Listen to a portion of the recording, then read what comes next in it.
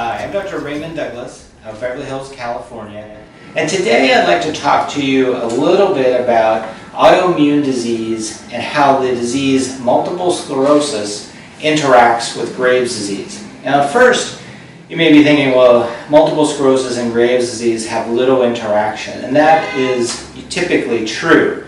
However, a recent study looking at multiple sclerosis and the use of the drug Lemtrada demonstrated that many of those patients, in fact over half of those patients, went on to develop Graves' disease.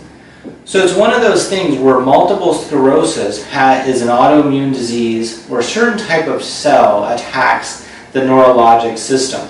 Well, it seems that when this drug, which is called Lemtrada, wipes out certain cells of the immune system, it causes a rebalancing of the immune system, which causes Graves' disease or pushes into more of an antibody associated autoimmunity.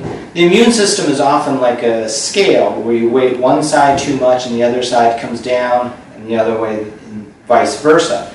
So what happened in this study is using this drug for multiple sclerosis pushed people into having Graves' disease.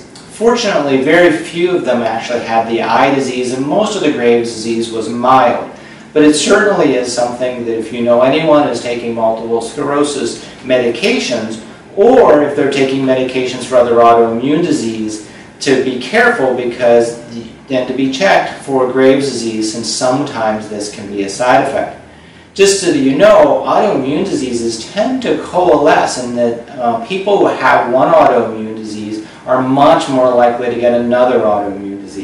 And that's just another thing to keep in mind as far as when you're thinking about symptoms that you have, they may or may not all be related to Graves' disease and it may be something else going on. So it's always worth thinking about these diseases and these autoimmune processes in a very thoughtful way and getting your internist or nutritionist on board with you. Thank you very much and I hope you have a great day.